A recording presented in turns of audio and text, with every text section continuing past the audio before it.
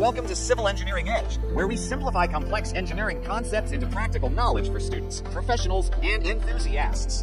Today's topic is the diaphragm wall, one of the most critical elements in modern deep excavation and underground construction. So, what exactly is a diaphragm wall? It's a deep, reinforced concrete retaining structure, usually built in situ by excavating narrow, deep trenches and filling them with reinforced concrete. These walls are generally 500 millimeters to 1,500 millimeters thick and can extend up to 60 meters or more, depending on project requirements. Diaphragm walls act as permanent or temporary barriers in geotechnically challenging areas, especially where groundwater or unstable soil exists.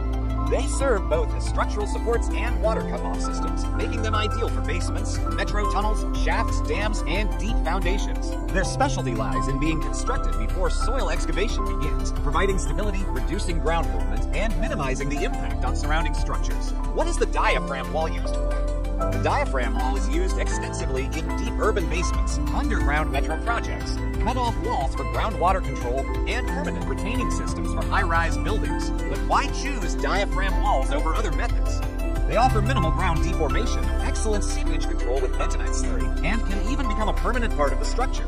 This makes them space-saving, durable, and cost-effective in the long term. IS code reference. Their design and construction are governed by IS 9527 Part 1 and 2. For structural design, IS 456 to 2000 and IS 3370 for water retaining structures are also relevant.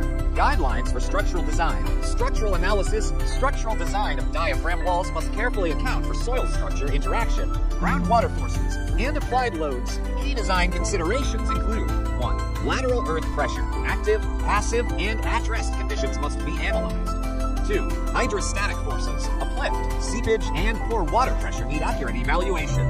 3. Bending and shear resistance. Reinforcement detailing per is 456 to 2000 is critical. 4. Durability and crack control. Use dense concrete and apply is 3,370 for liquid retaining walls. 5. Support conditions. Walls may be cantilevered or propped with serviceability checks. 6. Watertight joints. Use water bars and expansion joints to maintain integrity. 7. Finite element modeling. Ideal for simulating stress distribution in complex ground conditions. By following these principles, engineers ensure a safe, efficient, and long-lasting diaphragm wall system. Diaphragm walls are truly the backbone of underground construction, combining geotechnical expertise with structural engineering precision. If you found this breakdown helpful, make sure to like, share, and subscribe to Civil Engineering Edge for more practical civil engineering insights. Until next time, keep building strong and smart.